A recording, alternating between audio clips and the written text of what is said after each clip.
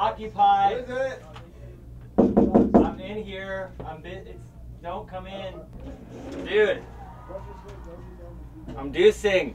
My name is Patrick Melcher. I- I love uh, hanging out with my dog, riding motorcycles. I do. I throw parties in LA. I DJ a lot. Anytime I'm like static and sitting sitting around, it's just it's wasted time to me. So I like I like to keep rolling. Kind of the reason I'm on is because I've been in the industry for a long time. I've been a professional skateboarder for 10 years.